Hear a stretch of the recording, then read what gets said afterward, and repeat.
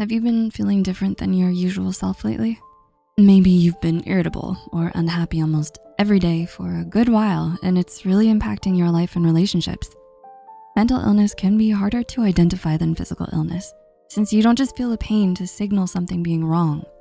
If not caught early on, it's possible for you to continue to sink deeper into this negative mental health space. This is why learning signs that you may be struggling with your mental health is so important. In fact, a 2007 study found that mental health literacy was one of the four ways to lead to more positive mental health outcomes. Enough said.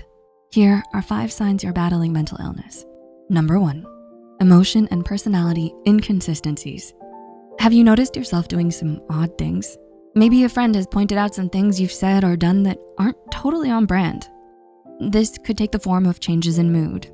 Perhaps you know yourself to be calm and even tempered, but lately you've been feeling irritable or anxious most of the time. Maybe you experience extreme highs or bouts of joy, but also extreme lows or episodes of deep sadness or anger. It can also look like laughing at inappropriate moments or feeling extremely angry at small inconveniences. According to the Mayo Clinic, emotions that feel excessive or disproportionate to the matter at hand can also be a sign. This can include excessive anxiety, fear, anger, guilt, sadness, or happiness when not completely appropriate. These feelings can take an emotional toll on you as it's exhausting to feel so much, so deeply, and so frequently. If you've been experiencing persistent or excessive heightened emotions, or have even said, done, or felt things that you wouldn't normally, then you may be battling a mental illness.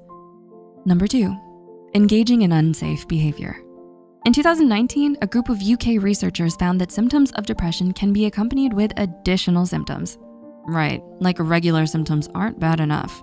Have you been taking less and less care of yourself? Perhaps you've been neglecting to bathe, brush your teeth, or eat properly. You may find yourself caring less about your appearance and skipping the grooming session.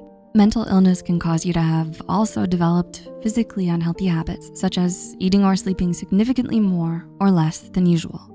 Sure, eating a large meal or even skipping a meal is fine once in a while. Of course, sleeping in and having a lazy day once in a blue moon is also fine, but you may be doing so in a way that has become bad for your nutrition and overall health.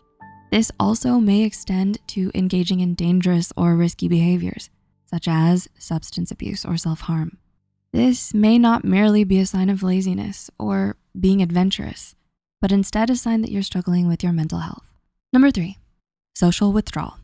Another sign to take note of is withdrawal. Have you lost interest in activities that you used to enjoy? Have you dropped your school, extracurricular, or work obligations? Perhaps you found that you can't quite bring yourself to keep up with them. It's also possible that you've withdrawn from social engagements. Have you been declining invites or canceling arrangements to spend time with friends or family? Perhaps you've been acting more closed off and spending too much time alone. This isn't you being rude or introverted. If you have significantly withdrawn from these activities and interactions in your life, you may be struggling with a mental illness. Number four, illogical thoughts. Have you been having difficulties with focusing, remembering things, or making decisions?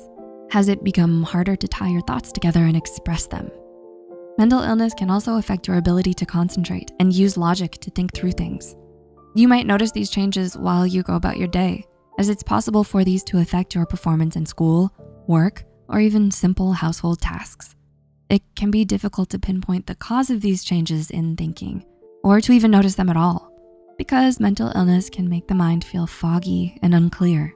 The American Psychiatry Association gives us examples of these illogical thoughts, such as having an overwhelming suspicion or fear of someone or something when no threat is posed having an illogical or exaggerated belief that you have powers, that you can influence events, or showing signs of magical thinking.